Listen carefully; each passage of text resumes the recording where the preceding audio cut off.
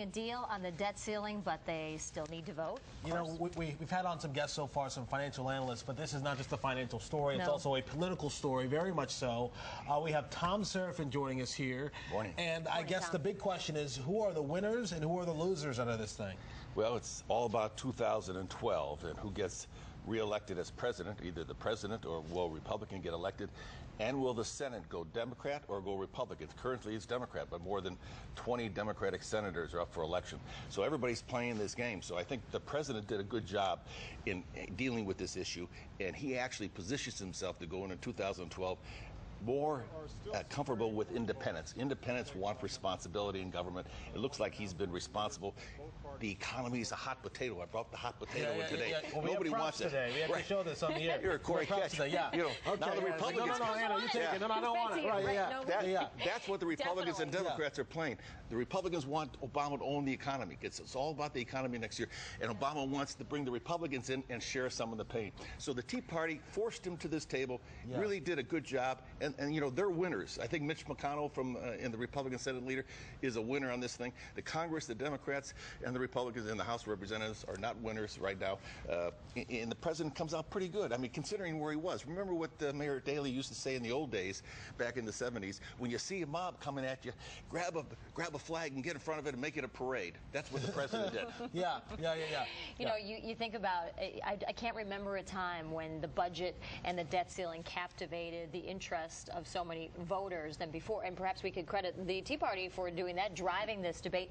But when you look at it from the outside, it also seems like they were fighting so much from within these two parties. You had the Tea Party fighting with, you know, other members of the Republican Party. President Obama's got a lot of the more progressive members of his own party very angry at him right now. How does this impact the whole political? Excellent point because the Democrats are fighting. They want to raise taxes. The president has said since January of 2010, we're going to have to raise taxes. And this one, he gave that up. And the left wants to raise taxes, especially on the wealthy.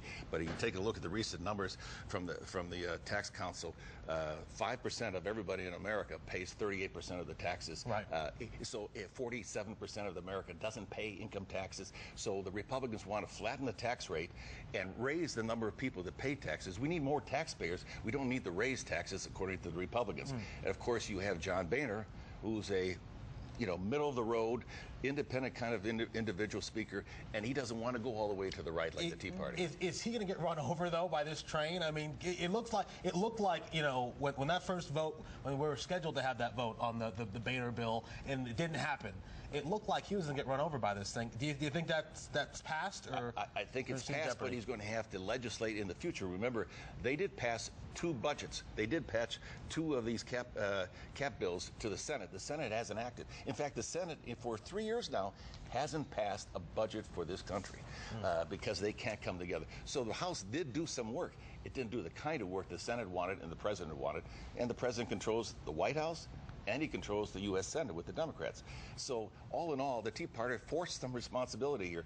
Now, what happens in the future? It's all about 2012. It's all about the hot potato. Yeah. Who's responsible for no jobs? Who's responsible for the fact that people are losing their homes? Who's responsible? Obama says Republicans, Republicans say Democrats. Okay, quickly, the vote is scheduled to happen potentially today. You think it will pass? It's got to pass. If it doesn't, we, we are in a monstrous situation.